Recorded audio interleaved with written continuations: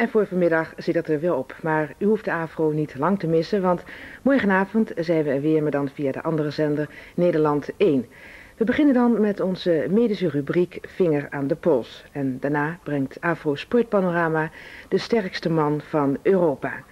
Nog meer stoere mannen ziet u in de vierde aflevering van Airline. En daarna gaan we naar schilderachtige plaatsjes Steenwijk en Havelte in het programma Ontdek je plekje.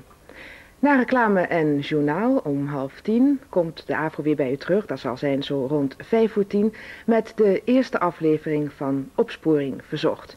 Dit gebeurt in nauwe samenwerking met politie en justitie en we hopen dat u als kijker daarbij zult helpen. Dit zijn dus de AVRO-plannen voor morgenavond, maandag 15 november vanaf 7 uur via Nederland 1.